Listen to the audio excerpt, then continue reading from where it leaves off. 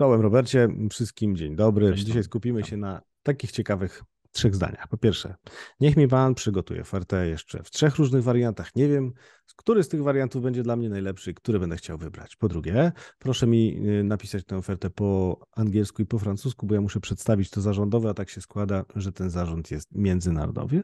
No i jeszcze po trzecie, niech Pan dołączy do tej oferty przykładowe projekty, które Pan dla nas wymyślił, żeby nam łatwiej było podjąć decyzję.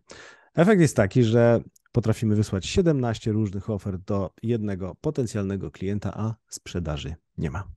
Robert, teraz pytanie do Ciebie. Gdzie zrobiliśmy błąd?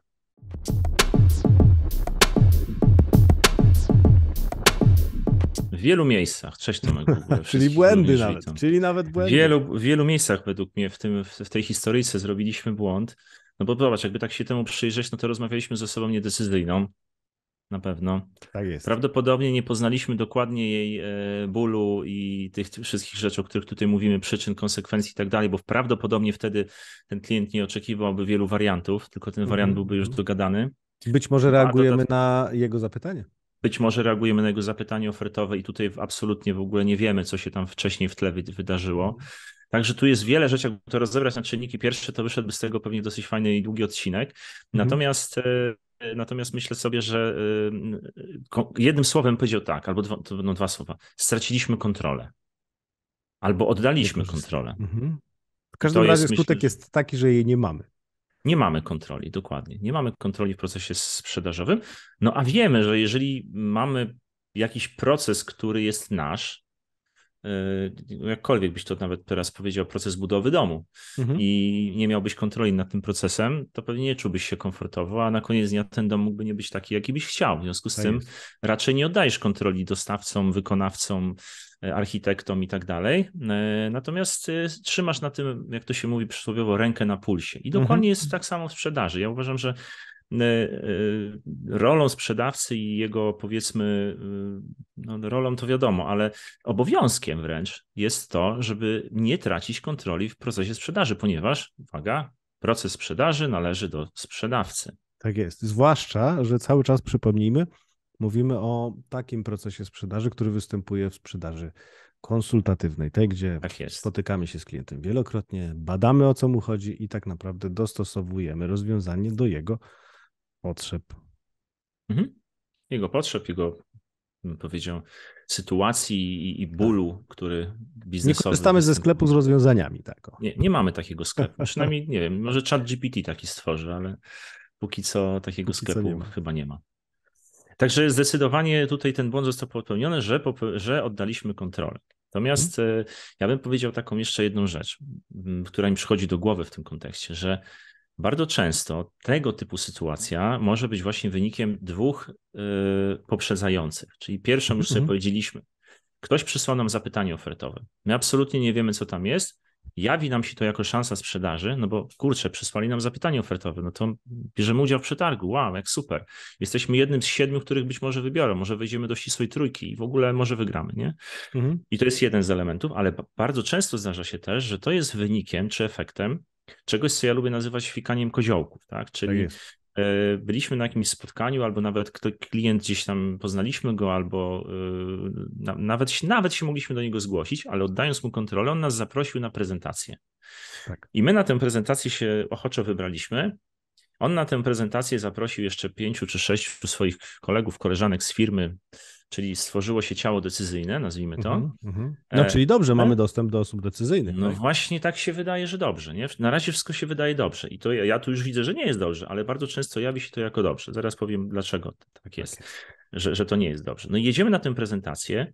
Przed sobą mamy ciało decyzyjne, które składa się nie wiadomo z kogo, no bo nie mamy przerwy kawowej czy networkingowej, żeby się z tymi ludźmi poznać, tylko po prostu wchodzimy na salę. Na tej sali patrzą na nas y, pary oczu różne. Tak jest. Y, Nawet których... znamy ich nazwiska, to Jan Kowalski, to Anna Malinowska, tylko nic nam to nie mówi. Czasami znamy, a czasami nie znamy. To właśnie może krótka anegdotka. Kiedyś y, na spotkaniu udział... to już chyba znamy, bo nam rozdają wizytówki, przynajmniej zwykle. No i tutaj właśnie powiem wam no taką dobrze. inną historię. Dawaj, dawaj anegdotkę. Miałem kiedyś swego czasu przyjemność i okazję pracować w jednej z dużych korporacji, która z kolei pracowała z jednym z większych polskich klientów na, firm na, na rynku ubezpieczeniowym.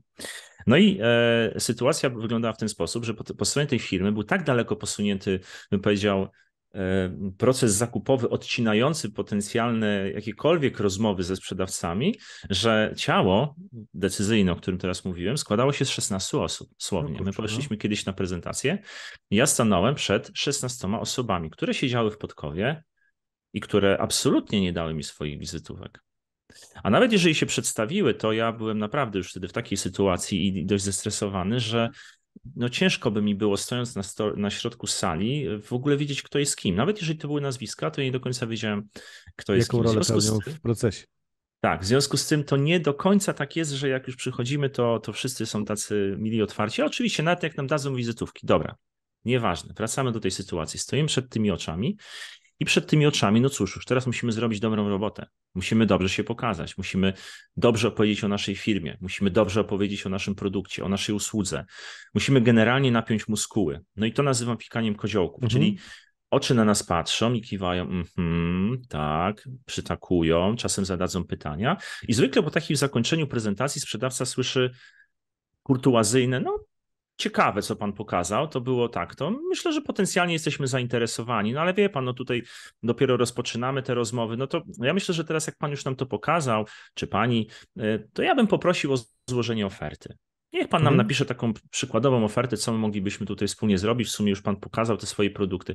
No i sprzedawca w tym momencie, taki, który działa bez procesu i bez tej podbudowy metodycznej, jawi mu się to znowu jako szansa. I on wtedy wraca do tej firmy, zaczyna tę ofertą pracować i bardzo często później się dzieje to, co powiedziałeś. To jeszcze tak, to jeszcze tak, a może jeszcze w takiej lub innej wersji.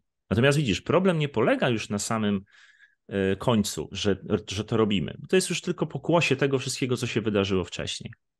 Jeżeli wcześniej popełniliśmy błąd i nie mieliśmy procesu i wykonaliśmy pewne rzeczy, które na tym etapie procesu nie powinny były się wydarzyć, to cała reszta właściwie jest e, efektem.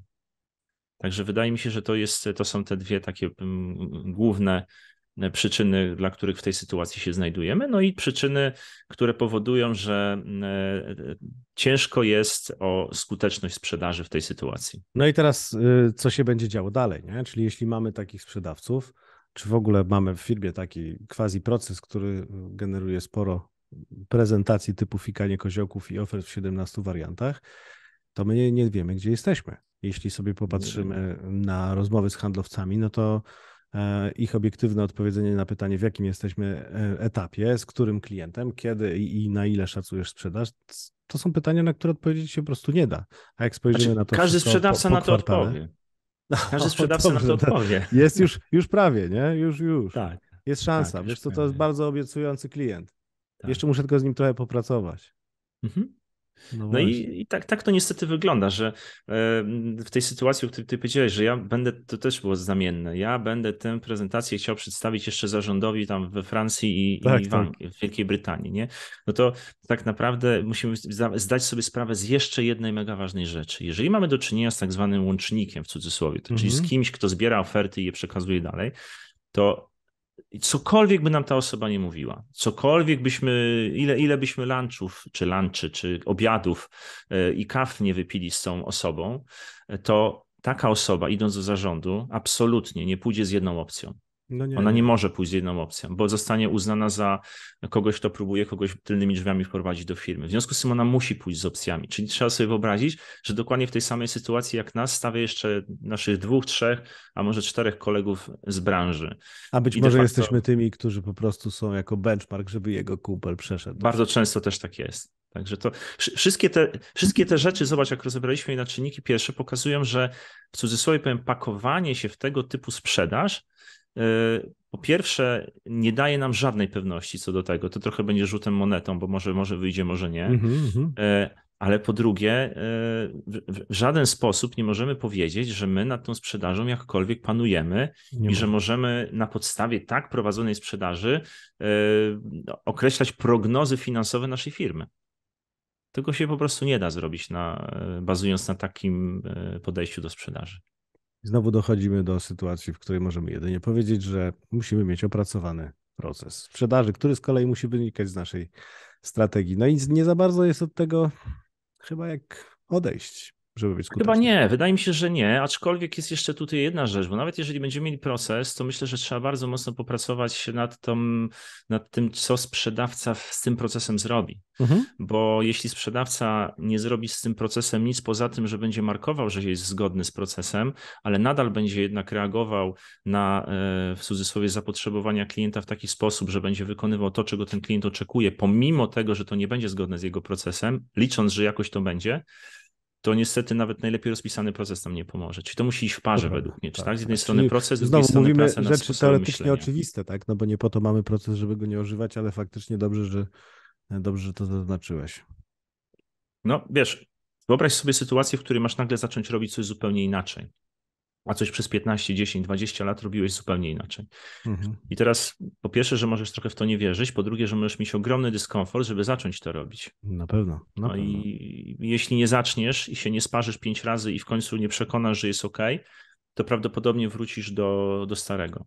I no i tutaj znowu jest kwestia, kwestia e, pomocy przy wdrożeniu takiego procesu, e, kwestia dobrze pojętej kontroli tego, czy my faktycznie dobrze robimy to, co mamy robić, wsparcia w ewentualnych wątpliwościach i tak dalej. Czyli wchodzą dodatkowe narzędzia, którymi trzeba się posługiwać. Oczywiście. Kończymy tak na tym wydaje. etapie naszą dzisiejsze rozważania dotyczące fikania koziołków.